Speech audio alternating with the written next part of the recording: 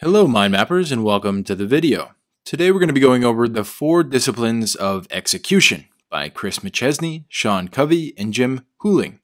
Achieving your wildly important goals. This is an amazing leadership book and it's also just an amazing book on achieving anything in general. It's got a ton of great principles and of course the four disciplines that show you how to achieve anything that you might be setting out to achieve. Let's move into the introduction, where I've pulled out a quote that I believe gives us a good overview or a good introduction into what we can expect to learn from this book. There are two principal things a leader can influence when it comes to producing results your strategy or your plan, and your ability to execute on that strategy. Stop for a moment and ask yourself this question Which of these do leaders struggle with more? Is it creating a strategy or executing on that strategy? Every time that we post this question to leaders anywhere in the world, their answer is immediate execution. Now, ask yourself a second question. If you have an MBA or you've taken business classes, what did you study more, execution or strategy? Once again, when we ask this question to leaders, the answer is immediate strategy. It's perhaps not surprising that the area with which leaders struggle the most is also the one in which they have the least education. After working with thousands of leaders and teams in every kind of industry and in schools and government agencies worldwide, this is what we have learned. Once you've decided what to do, your biggest challenge is in getting people to execute it at the level of excellence that you need. The book you are reading represents the most actionable and impactful insights from all that we've learned. In it, you will discover a set of disciplines that have been embraced by thousands of leaders and hundreds of thousands of frontline workers, enabling them to produce extraordinary results. And of course, we all want extraordinary results, not just for our teams, not just in our business, not just in our job. And for me, this book is not just for leaders. I know it's certainly marketed more as a leadership book, but I want to make the case here before we get into this that this is maybe one of the best self leadership books of all time. After all, we all somewhat know what we want to accomplish and we have an idea for what the strategy might look like, but what do we all struggle with? It's executing on what we say we want to do. So, the principles and disciplines here in this book or in this mind map, if followed, are going to lead you to have a better life in general. Doesn't necessarily have to be for leading a team. Uh, because, after all, who better to lead? The first person that we should start with leading is, of course, ourselves. This action allows us to lead others with integrity and congruence instead of top down rules that we make up or that we read in books like this one. Having a leadership view of ourselves is a great way to progress through our lives as well. Often, we don't think about how we're actually a leader of ourselves. We often think of ourselves as just one piece. We are the person that is the doer, and we are also the person that is the decider. But that's not always the case. After all, we are generally the worst leader that we've ever actually had. I mean, if a leader in a company said some of the negative things that I say about myself to myself, I would definitely quit on the spot. And I have a feeling that a lot of you are probably the same. We deal with negative self talk, we deal with high expectations, we deal with all of those sorts of things that truly bad bosses really exemplify. And why is this okay coming from myself or coming from ourselves, but not from what we would call an external leader? And what I'm going to invite you to do here throughout this book is cultivate an internal leader or cultivate a, a, sense of being your own leader starting today. One that's following the principles we'll talk about in this book and as follows in the mind map. But first, let's think about getting aware. How does your relationship with your internal leader right look right now? What type of leader do you want to be for yourself? Why is it important for you to lead yourself instead of leaving yourself to your natural instinct? And then, after that, of course, we're going to look at execution. How are you going to help yourself and, of course, others truly get great things done? What system are you following that ensures that your goals are actually achievable? The one that we'll talk about today is probably the best in the world. One of the best leadership books of all time is certainly the one that we're reading today. I'm committing to the four disciplines, not only in my own self leadership, but in the leadership roles that I have in my daily life through my business and also through this YouTube channel with my coaching clients. So, before we get directly into what I, what I think is probably the biggest idea of the entire book, which is uh, obviously the four disciplines, let's talk a little bit about mind mapping. You can get the most out of these mind maps by following along. You can find the process of how I mind map and all the mind maps available on the channel for free at the link down below. Following along with these is going to help you learn more, remember better, and apply these books to your life. And if you want to skip the line and instead of reading dozens and dozens of books or watching dozens and dozens of videos, get kind of my biggest ideas on particular topics such as mind mapping, such as learning, such as habits and goal setting, then you can get my masterclasses all at the themindmapguy.com. With that, let's move into our first big idea, which is actually one that I've highlighted because it's extremely important. A quick overview of the four disciplines.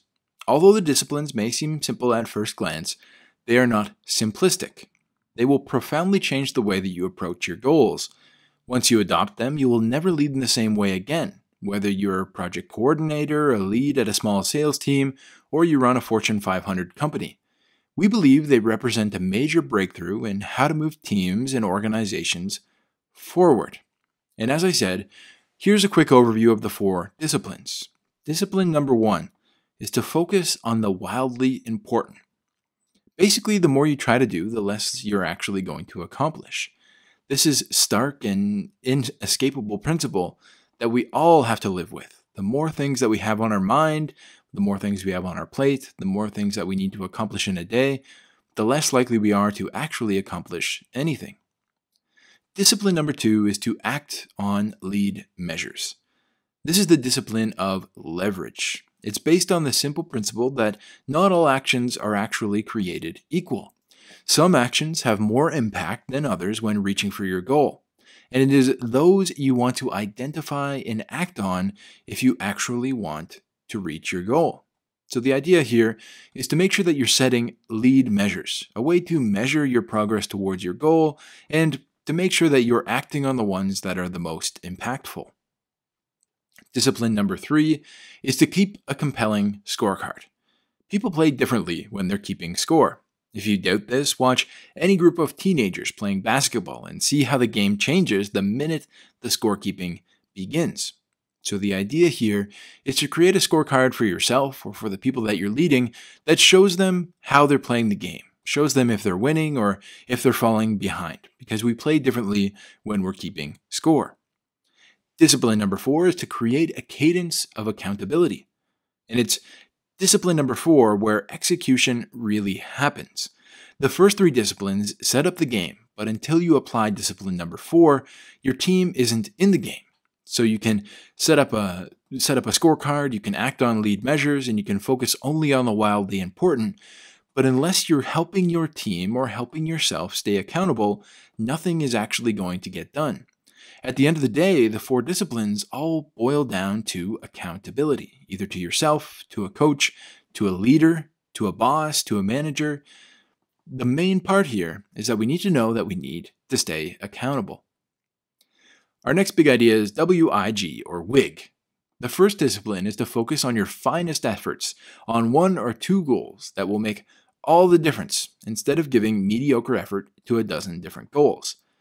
Execution starts with focus. Without it, the other three disciplines won't be able to help you. Simply put, discipline one is about applying more energy against fewer goals because when it comes to setting goals, the law of diminishing returns is as real as the law of gravity. So, set fewer goals is certainly not common advice, right? Everyone talks about how important goal setting is, but at the end of the day, we need to make sure that we're setting only the most important possible goals. And most of us know how important goals are, but how many of them are we setting? And are we actually focusing on only the most important? That's really what discipline number one is all about. Let's focus on the wildly important goals in our lives. And they say here that we should focus only on one or two different things. They're part of what motivates us to self actualize and become our best selves, setting goals. The sheer act of setting goals makes you more likely to accomplish your vision and be connected to your purpose. But do we know how important our goals really are? It's a slightly different scenario. If we set multiple goals or we set and reset goals based on our whims or our ability to actually accomplish them, how important can they really be?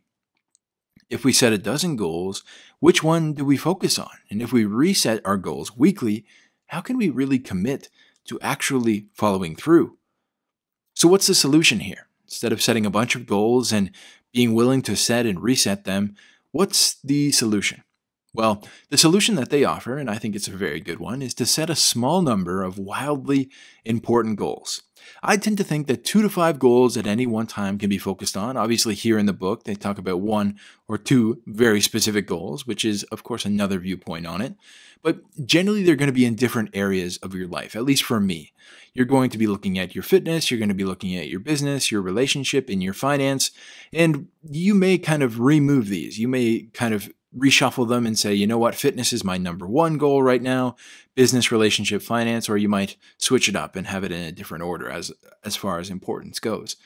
But I tend to think that two to five is a good place to stay. Any more than five, and they're not really goals, they're just aspirations. But each of them should feel wildly important. And of course, that's the difference between a wildly important goal and just an aspiration. Because if they don't, you won't be willing or able to commit a high amount of energy to them. Of course, if we set a really important goal, it might be something that is going to require quite a lot of sacrifice. And if it's not wildly important and it's just something that we kind of want or we aspire to do, how likely are we to actually go through that little bit of suffering or go through that um, need to use a bunch of energy towards the goal? Of course, we're not very likely to do that at all. Our next big idea here is whirlwind. The real enemy of execution is your day job. We call it the whirlwind. It's the massive amount of energy that's necessary just to keep your operation going on a day to day basis. And ironically, it's the thing that makes it so hard to execute anything. The whirlwind robs you robs from you the focus required to move your team forward. Leaders seldom differentiate between the whirlwind and strategic goals because both are necessary to the survival of the organization. However, they are clearly very different. And more important, they compete relentlessly for time, resources, energy, and attention. We don't have to tell you which will usually win this fight. The whirlwind is urgent, and it acts on you and everyone, working for your every minute of every day. The goals you've set for moving forward are important, but when urgency and importance clash, urgency will win every time. Once you become aware of this struggle, you will see it playing out everywhere. In any team that is trying to execute something, and even just in your own life. And the whole idea here with overcoming the whirlwind is we don't want to sacrifice the important for the urgent. This is actually coming directly from the Seven Habits of Highly Effective People, which, of course, Sean Covey's dad wrote. Certainly, this is easier said than done. Don't sacrifice the important for the urgent. Unless you've built a very purposeful life and business, you're likely to be spending a lot of time reacting to urgent matters things that need to be done at a particular time in a particular place, and sometimes that time is right now. These urgent tasks take up a lot of our time and energy, which are both, of course, the most limited resources in the entire world. And they also happen to be needed to accomplish our important goals, our wildly important goals, I should have written. Do you ever have a long day where you get a lot done, but you feel like nothing actually moved you forward towards what you want to accomplish? I can definitely put my hand up there. How do we be sure that we're spending our time on the important and actually moving ourselves forward rather than just getting the busy work done? Well, the simple answer here is to schedule time for the important before the urgent can intervene. Now, for me, this is a must. If you don't schedule your days and if I don't schedule mine, if you don't schedule time for the important, the urgent will always win. And what this looks like in my own life, for me, I've got to get, uh, I've got to get working on the important before the urgent even gets in my mind, right? I've got two different businesses, my marketing business and my coaching business, both of which take up a great deal amount of time and a lot of it really is the whirlwind. But these YouTube videos aren't quite as urgent. However, for me and for my long term goals, they're wildly important They're the most important part. We'll talk about lead measures later, but the YouTube video, the amount of YouTube videos that I put out in a week is definitely my lead measure. That's the thing that I am focused on, number one, to reach towards my most important goals. Therefore, I need to schedule time before the urgent kicks in. So every morning at 5 a.m., I usually start working on my marketing business or my coaching business uh, a little bit later on in the day. So I try to get my YouTube part done, my videos done at around 5 a.m. I try to commit at least one hour to mind mapping, and that's very, very important. If I miss that one hour, I likely am going to miss it for the entire day. It's not likely that I'm going to be able to pick up an hour in the afternoon to get the mind mapping done. Usually it has to get done first thing in the morning. So that's kind of my way to put the important before the urgent. What's yours? How are you going to schedule time for the important so that you can kind of forego the urgent and actually move yourself towards the wildly important goal that we talked about before? So, next we're going to talk about lag measures versus lead measures, kind of what I alluded to before. Let's drill down into the distinction between lag and lead measures. A lag measure is the measurement of a result you are trying to achieve. We call them lag measures because by the time you get the data, the result has actually already happened. They are always lagging. The formula from x to y by when in a WIG gives us a lag measure. But WIGs, wildly important goals, are not the only lag measures in your world. The whirlwind is full of lag measures, such as revenue, accounts payable, inventory numbers, hospitalization rates, assets utilization, and so forth. Lead measures are different. They foretell the result. They have two primary characteristics. First, a lead measure is predictive, meaning that if the lead measure changes, you can predict that the lag measure will also change. Second, a lead measure is actually influenceable. It can be directly influenced by the team or by yourself. That is, the team can make a lead measure happen without a significant dependence on another team or without having to wait for the lag measure to actually happen. So, how are you measuring your progress? That's really what we want to be talking about here, right? How do you know that you're moving towards your wildly important goals? Both of the measurements we talk about here, lag and lead measures, are important. Some may think of them as outcome or behavior based goals. One leads to the other. Lead measures are called lead because they lead to the outcome that you want. And why do we so often focus on lag measures instead of lead measures? Well, it's pretty obvious that when setting goals, we generally set outcome based goals. We set lag measures, so to speak.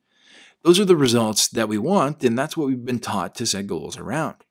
It's a perfect way to set big goals and set wildly important goals because it leads to what we want. It, it gives us what we want, right? The measurement that we actually want for our goals is the outcome that happens because of all the work that we put in. Unfortunately, I think if you only set a lag measure or you only set an outcome, you're actually missing a step. After setting outcomes, we need to understand what will lead to those outcomes. And if we spend all our time focusing on the outcome, we want lag measures. Actually, we aren't going to move towards it at all. We could spend all day visualizing what our what our lag measure or outcome is, but really that's not going to move us towards that final destination. In fact, most of the time, if we focus too much on lag measures, we actually get discouraged and we feel that we don't have the ability to accomplish them because it's very hard to measure our progress towards those lag measures, especially if we're setting super, super far out goals. So, what do we do instead? Of course, we want to focus on our lead measures. So, let's look at your wildly important goal. Remember, we talked about that a little bit earlier what is your wildly important goal? Maybe we'll just pick one particular domain for right now. But next, what we want to do is dive into what behaviors you need to accomplish in order to achieve that wildly important goal. What are they? What are those things? What are the things that are going to lead towards the desired outcome that you have? And finally, you want to take those behaviors and turn them into lead measures. So that's kind of a three step process. Let's look into this. First, for me, my wildly important goals is 1 million YouTube viewers a year, which is going to be next year, January 2021 to December 2021. I want to have a million YouTube viewers. So, the behaviors, the things that are going to lead me to have those actual amount of viewers, is I, I need to post more videos. I need to continue up with my schedule of trying to post one or two times a week. And I need to continue to promote those videos more so that they get out to more eyeballs. So my lead measures might be the number of videos posted and the number and type of promotions that I do. So I might be posting inside of Facebook groups. I might be posting two videos every single week. Those are the things that I can control. Those are the things that are going to lead towards my goal. However, if I just kind of sat back and let myself um, wish that my 1 million viewers were going to come in the next year, then of course nothing would actually happen. I need to focus and spend some time on those lead measures. Our next big idea here is one that I highlighted again in blue for you. I think it's very, very important to keep score. The third discipline is to make sure that everyone knows the score at all times, so that they can tell whether or not they are winning. This is the discipline of engagement. The discipline of engagement. Remember, people play differently when they are keeping score. The difference in performance between a team that simply understands their lead and lag measures as a concept and a team that actually knows their score is remarkable. So, of course, each one of these disciplines kind of builds upon the other, right? We've got our wildly important goals first. We have to know our lag and lead measures. We have to know how to measure our progress.